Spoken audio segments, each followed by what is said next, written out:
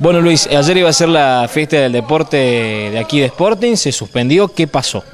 Bueno, realmente lo que pasó, eh, cabe muy bien aclararlo porque nosotros dijimos que no se suspendía por mal tiempo.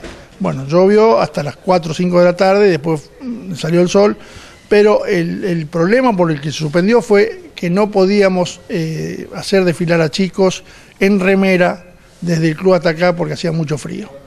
Eh, no se justificaba, y respetando a todas las empresas que gracias a ellas se hace la fiesta del deporte, eh, no podía mostrar su remera.